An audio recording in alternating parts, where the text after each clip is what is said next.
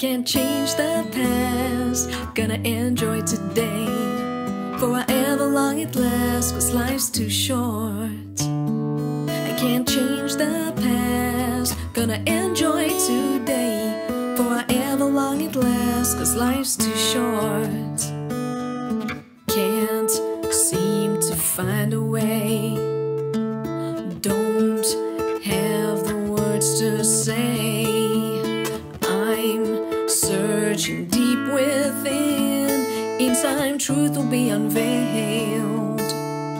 You release me to be free, to live life well, not to live it perfectly.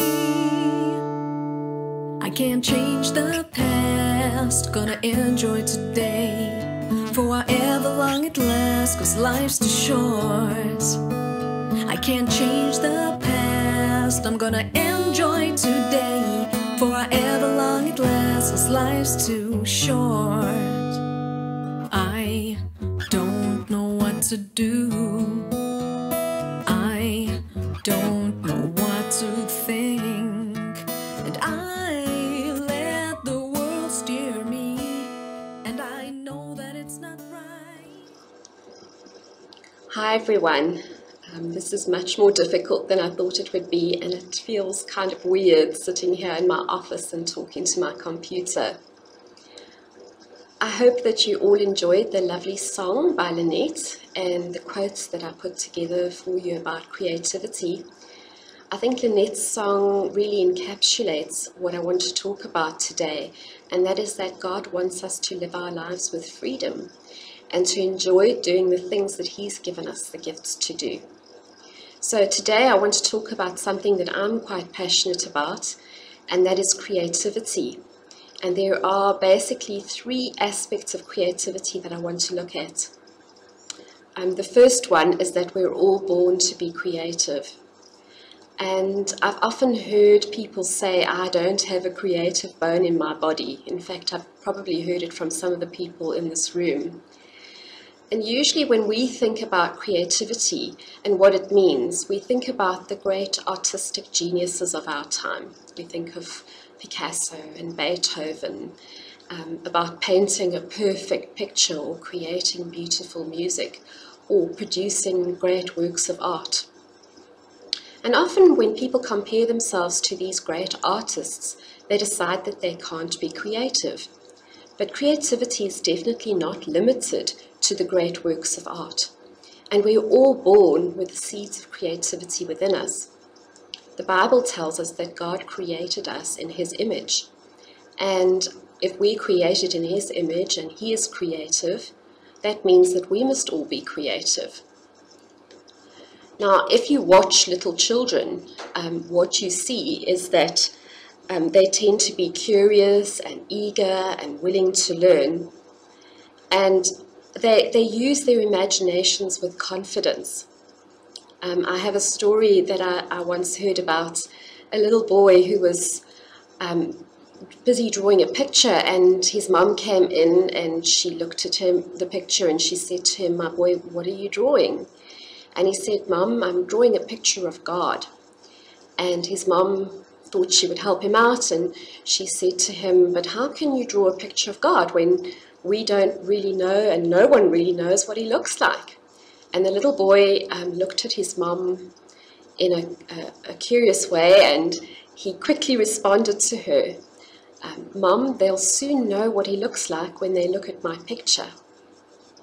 So I wish that we could all have this sense of confidence in our creativity, um, the, the sense of wonder that little children have. Um, but what happens along the way is that as we grow older, we start to lose confidence in our own creativity. We start to compare ourselves with others. Um, we start to um, become discouraged when we listen to that nasty little voice in our heads that tells us you can't do that or you're too old to try that or you know you don't have the skill to do that or you know you have to do it perfectly in order for it to be any good. And i remember uh, when i was a little girl um, this happened to me because um, i had this dream of becoming a great fashion designer. And I once found a, a piece of fabric, um, scrap fabric, lying around the house, and um, I decided I'm going to design myself a dress. And so that's what I did. I made a dress. I, I used my mom's old black Singer sewing machine to sew it up. And um, I made this beautiful dress, or what I thought was beautiful. And um, my mom was very kind and she allowed me to wear the dress when I was at home to play with and to play in and that sort of thing. But when we went out, she wouldn't allow me to wear my dress.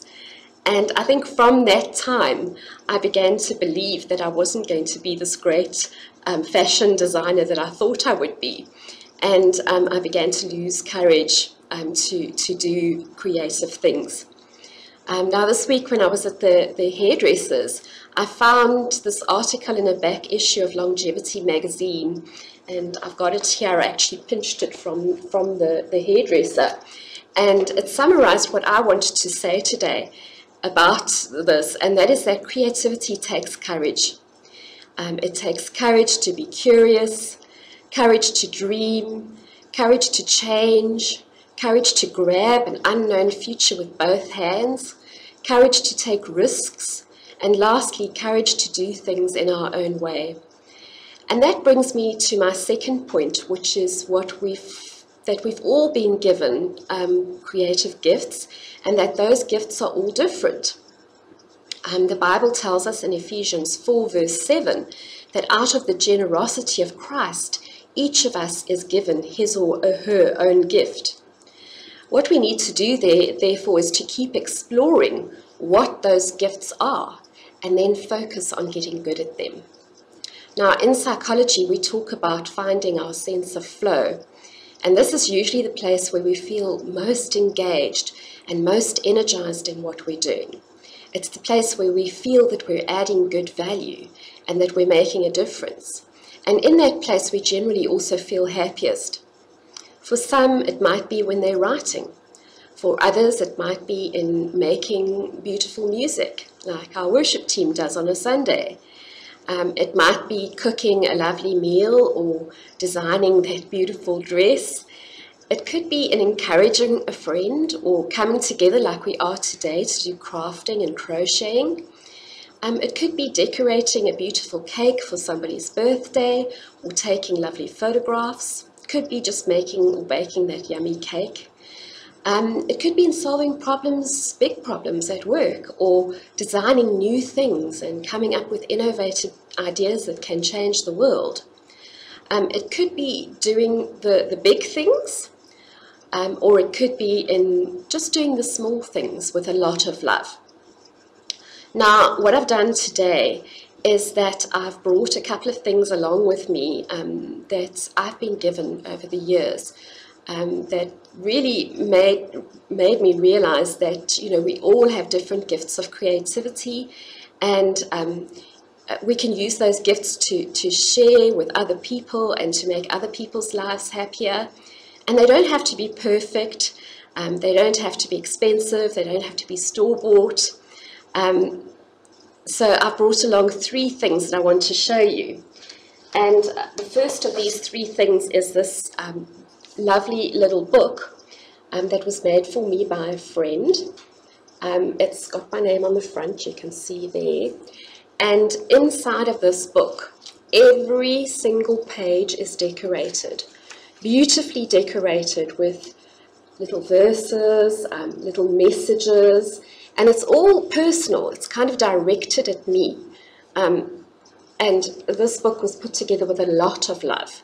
And it's something that I really, really treasure because of that. Um, then the second thing that I, I, brought along to show you is um, this beautiful scarf um, that was knitted for me by a friend. Um, she lives down in Grahamstown and um, she's a lecturer in psychology there. She used to work with me. And um, she knows that, that in Vereeniging we have very cold winters. And so one winter she, she knitted me this lovely scarf and she sent it down to me in the post. And um, I know how much love went into this. Um, I know what it meant for her to make this for me. And I really love it and I appreciate it. And then the last thing that I want to show you is something extremely special that was given to me by someone um, when I was going through a particularly hard time in my life. And um, it's this gorgeous little felt sunshine. And um, the person that gave it to me, as I say, um, gave it to me to help me to smile um, when things were not going so well. And I now hang it next to my bed, and it does just that. Every time I look at it, it makes me smile. So I think, you know, it's important to remember that, you know, the, the, that creativity comes in many different forms. Um, people have different skills and different um, gifts, and we should use those gifts um, in a passionate way. We should find out what we're good at and then do those things with a lot of love. Now, I read an article this week as well on the internet um, where it's kind of summarized what, what I'm trying to say here quite quite well. And that is that the lady said we should create from who we are because we are a beautiful blend of what God has breathed into our souls. Um, everyone can be good at something and has a purposely placed gift.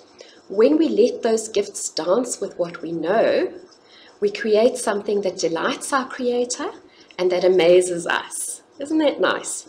Now, what we create may not appeal to everyone, but there will be those who can connect with what we've created and who will enjoy it. And that brings me to the third aspect of creativity that I want to share with you, and that is that we are given our gifts for a purpose. And the first and the most important purpose is to use our gifts in a positive way to glorify God. Um, in Colossians 3, verse 23, it says, Whatever you do, do your work heartily, as for the, the Lord, rather than for men. Now, although it says here that we shouldn't do what we do for men, our creativity can, however, give others joy. And it can make the world a better place. And we need to be more creative to have fun in, for ourselves as well and to improve our own well being. Now, psychologists have found that there are many positive benefits that being creative can have for our mental and physical health. Um, some of these include um, providing us with focus and purpose. Um, being creative can help us reduce stress and anxiety and depression. It can increase a positive mindset, and that makes you feel happier. Um, being creative can often be used in therapy situations as well to help people to express themselves and to cope better with difficult life circumstances. It also helps us to solve complex problems and it can provide us with the motivation to develop new concepts and ideas. It also helps us to put more effective plans in place for the future and we can even use our creativity to help improve our financial uh, situation in tough economic times like we're facing at the moment. I think in summary, we're all born creative. Um, we've all been given unique creative gifts to use, and we should use those gifts to glorify God, to give joy to others, to make the world a better place, and to live happier, more joyful, and more passionate lives. I hope that this little talk encourages you all to identify your creative passion and to go out and live more creative lives. Now, what I want to challenge you to do um, is perhaps this week or, or even if it's just this month, um, go and do something creative that can give somebody else joy. Um, do it um, in surprising ways, you know, it doesn't have to be perfect. Um, and it doesn't have to be for a specific occasion. You know, you don't have to do it for their birthday or whatever the case might be. Just go out and do something that will give somebody joy. Um, and use your creativity. Um, thanks very much for listening this morning, and um, God bless.